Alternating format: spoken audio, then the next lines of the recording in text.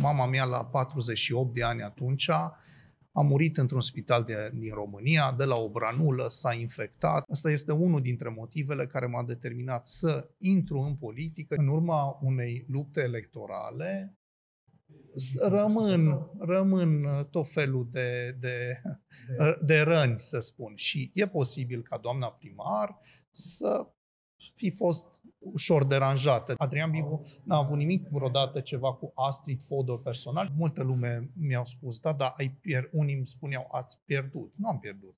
Eu am câștigat. Atunci n-a ținut de mine pentru că eu personal și eu am considerat că trebuia să fiu viceprimarul Sibiului. A fost una dintre cele mai dure experiențe, să zic așa, din viața mea. Probabil că anumite persoane s-au uitat pe linia asta și au zis, domnule, dacă Ioanis s-a plimbat cu doamna Fodor, probabil vrea să spună votați-o pe Fodor. Ești da. un pic dezamăgit că nu ai fost sprijinit de Claus Iohannis, pentru că...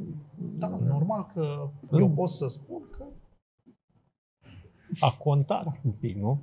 Fi contat. Asta, asta a fost destinul. De multe ori am stat așa și mi-am pus întrebarea cumva câte sacrificii trebuie să fac. Nu sunt un om încăpățânat, uh, chiar îmi văd de treabă, duc uh, lucrurile pe o linie. Eu vreau să rămân așa cum sunt, pentru că eu de multe ori le spun oamenilor, eu nu vreau să mă schimbe pe mine politica. Că sunt, uh, consider eu, un tip corect, țin la corectitudinea și la respectul atât față de colegii mei, cât și față de oameni. Nu sunt, nu sunt pretențios, nu mă prea pricep la gătit, sincer uh, știu să fac uh, în special paste cu ton. Îmi doresc să fiu fericit atât eu cât și cei din jurul meu.